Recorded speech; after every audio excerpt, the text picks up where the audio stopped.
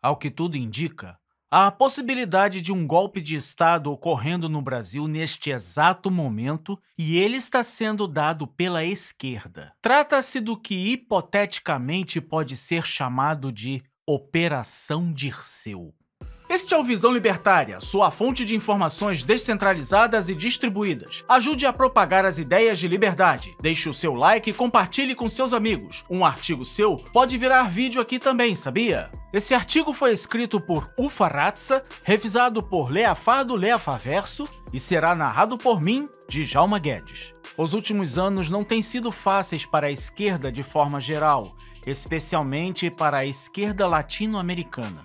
Todo castelo de cartas construído pelo Foro de São Paulo durante décadas de tramas e conluios parece estar por um fio por todo o continente. Há algum tempo, a esquerda festejava a chamada Onda Rosa, também conhecida como a guinada latino-americana à esquerda, que prometia varrer o continente. Todavia, hoje vemos que aquilo que esperavam ser um tsunami não passou de uma marolinha.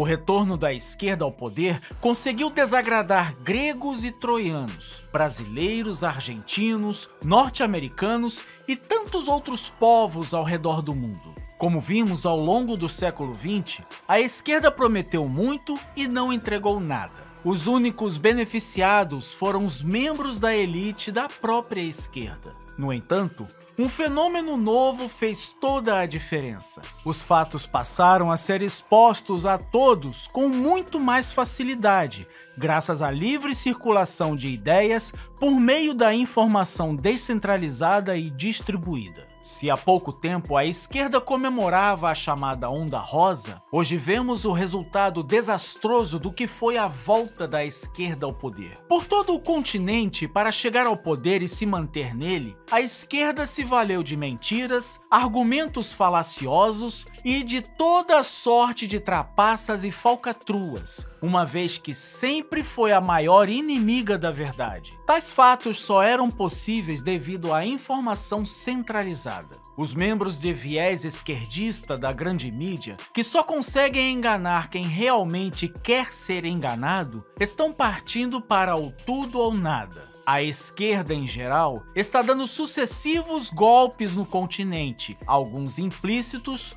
outros velados. De forma bastante resumida, pode-se dizer que a ditadura venezuelana começou a ganhar tração ainda na época de Hugo Chávez, quando o caudilho começou a aparelhar o judiciário com seus cupinchas. Em seguida, Maduro conseguiu manter o poder total através das interferências no Supremo Tribunal venezuelano e na corte eleitoral daquele país. Além disso, é preciso enfatizar que a ditadura venezuelana não apenas desarmou a população, como também cooptou as forças armadas e criou a Guarda Nacional Bolivariana. Vale lembrar também que ainda este ano na Bolívia ocorreu uma suposta tentativa de golpe contra o presidente esquerdista Luiz Arce. Na verdade, tudo não passou de uma encenação com o objetivo de dar uma sobrevida ao governo de Arce, através de uma espécie de sentimento de união nacional em torno do esquerdista, ou até mesmo para tentar justificar a implementação do totalitarismo sob a desculpa de um contragolpe contra o suposto golpe. Tanto na Venezuela quanto na Bolívia, a oposição foi perseguida e presa, como se pode ver nos casos de Edmundo Gonzalez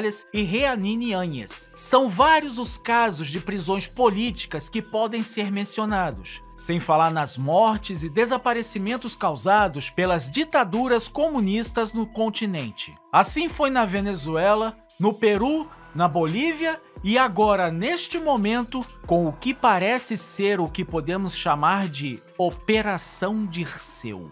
Faz algum tempo, a esquerda brasileira vem proferindo de forma reiterada sucessivas frases suspeitas e intrigantes. Dentre elas, destacam-se. É uma questão de tempo para tomarmos o poder. Vamos tomar o poder, o que é diferente de ganhar a eleição dita por José Dirceu, ou ainda frases como a Venezuela precisa construir uma narrativa para destruir o inimigo. Narrativas, mesmo que mentirosas, valem mais do que a verdade. Ou então, vou contar uma coisa para vocês. Bolsonaro não volta mais, porque esse povo vai ter que aprender a gostar de democracia. Porque quando se quer dar um golpe, se constrói uma narrativa. Todas elas ditas pelo Bebum de Garanhuns, que tem como estrategista José Dirceu. Cada vez mais, aquilo que só parecia a bravata da velha guarda decrépita do esquerdismo, igualmente decrépito e putrefato, parece ganhar contornos de realidade. Ao que tudo indica, parece que a esquerda brasileira decidiu que não daria o golpe à moda Pedro Castilho no Peru de forma explícita, uma vez que as consequências poderiam ser as mesmas. Caso resolvesse dar um golpe, provavelmente o Foro de São Paulo usaria uma tática velada, uma mistura entre o que foi feito na Venezuela e na Bolívia, valendo-se de elementos dos golpes ocorridos nos respectivos países. A princípio, pode-se imaginar que os golpistas fariam uma reunião secreta, exclusivamente entre os membros das instituições já capturadas pelo socialismo, com o intuito de avançar de forma rápida e categórica contra pessoas e instituições de oposição ou ainda não totalmente capturadas, como pode ter ocorrido na reunião secreta entre os poderes realizada no dia do óbito do tal tio França. A reunião em questão pode ter concretizado a estratégia de agir em duas frentes. A primeira, com o intuito de atacar Bolsonaro diante da opinião pública nacional e internacional, com a ajuda da mídia, ainda durante a realização do G20. A segunda poderia ser a realização de um ataque a aliados de Bolsonaro dentro das Forças Armadas, com o objetivo tanto de servir de exemplo a dissidentes do regime, quanto de realizar uma caça às bruxas na caserna. Muito embora as Forças Armadas tenham sido instituições de Estado acima das discussões transitórias dos governos, para a esquerda isso não é suficiente ou estão do lado dela ou precisam passar para o lado dela. A purga, que começa no indiciamento de militares influentes pela Polícia Federal, nada mais é do que uma tentativa da esquerda de sequestrar as Forças Armadas para o projeto de poder hegemônico e ditatorial que ela tenta estabelecer. Portanto, a hipotética Operação Dirceu poderia ser classificada como uma tentativa de tomada rápida do poder poder pelo sistema, através da prisão de Bolsonaro e de outras figuras simbólicas da direita, além da captura definitiva de instituições como as Forças Armadas. Tais fatos, apoiados por cúmplices internacionais e sustentados por outras instituições já previamente controladas, poderiam representar a completa venezuelização do Brasil. Cabe salientar que a Operação Dirceu, suposta tentativa de golpe de Estado de cunho lulopetista, em curso no momento, seria um verdadeiro tudo ou nada, um vai que cola que precisou ser colocado em prática às pressas, devido à conjuntura política nacional e internacional. Por um lado, no plano nacional, o lulopetismo vem de sucessivas derrotas, que já começaram para Lula ainda na eleição de 2022. Embora o Sacripanta tenha sido eleito presidente da República com uma margem apertada, também se elegeu junto com ele o Congresso mais conservador da história até agora, com uma larga vantagem. No plano nacional, Lula, o heresiarca líder da seita petralha e a turba de seguidores tiveram que amargar uma eleição municipal catastrófica para a esquerda neste ano de 2024. Além disso, no plano internacional, também se elegeram Javier Milei, entre outros nomes mais à direita na América Latina e na Europa. Mais recentemente, ocorreu a volta de Donald Trump à Casa Branca, acompanhado de Elon Musk, e de uma Câmara dos Deputados e um Senado controlados pelo Partido Republicano. Ou seja, o Partido das Trevas tem pressa. Pode-se imaginar que não esperavam ou não estão prontos para encarar duas realidades. No plano internacional, a eleição de Trump e suas possíveis consequências para a esquerda brasileira, que fez o que fez por se sentir protegida e intocável no plano nacional, a possibilidade concreta da esquerda ser punida ainda mais e novamente nas próximas eleições de 2026, talvez até obliterada politicamente. Ao se deparar com tal panorama adverso, insuperável e irreversível dentro e fora do Brasil, é possível cogitar que a esquerda, supostamente, poderia resolver dar um golpe imediatamente. Daí a razão da reunião secreta à noite em que estavam o presidente da República, ministros do Supremo e o dirigente da Polícia Federal. A histeria da mídia em alardear o indiciamento relâmpago,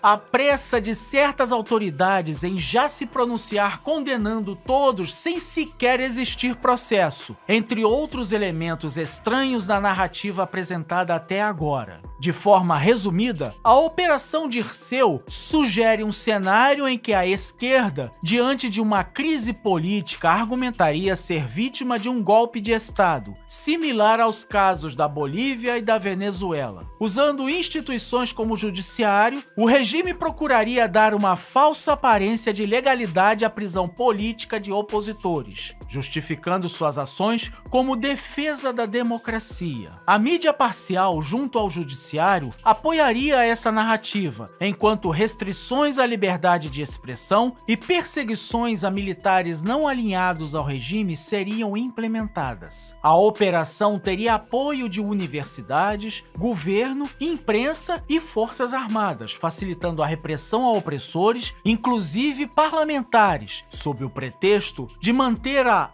ordem democrática. Países como Venezuela, Cuba, China e Rússia apoiariam essas medidas e, caso houvesse resistência popular, interviriam militarmente para garantir o regime. Supondo que a hipotética Operação Dirceu se confirmasse, o passo seguinte seria o da ditadura socialista tornar o Brasil uma grande fazenda de escravos não se concretizando, afundaria ainda mais as instituições brasileiras, como o Poder Judiciário e a Polícia Federal, no limbo do abismo comum, onde restam arruinadas a credibilidade das universidades, dos meios de comunicação, da mídia tradicional esquerdista, das próprias Forças Armadas brasileiras, da CBF e da Seleção Brasileira, dos partidos esquerdistas e de tantas outras instituições que eram consideradas basilares no imaginário popular e já não são mais. A perseguição das instituições contra Bolsonaro e aliados não é meramente a perseguição do sistema contra um homem